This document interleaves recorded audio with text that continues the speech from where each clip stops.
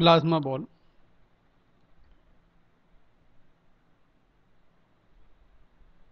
What are the different component of a plasma ball? This is this is called a glass globe gases. Uh, charge part a cord to plug into the wall and transformers and charge particles.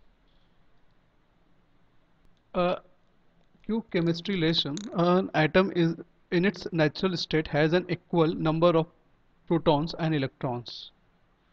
Do you remember proton have a charge positive and electron have a negative charges? So normally the charges is a neutrals.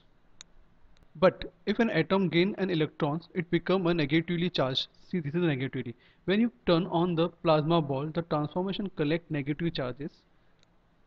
You can see here this is collect negative charges are here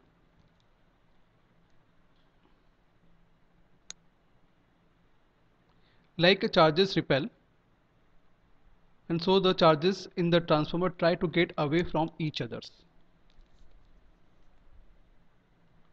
The gases make the color. The color the color arc are caused by the charges moving through the gases inside the globe. Here is a list of the gases that might be in plasma ball.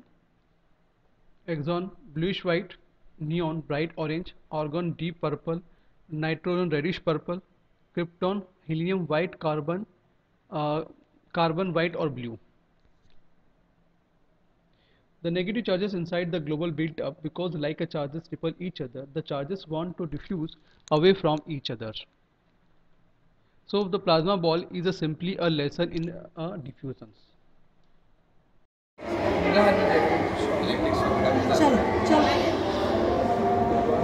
ये दबाना ये ये दबाओ इधर कर रहे हो दबाओ अभी से।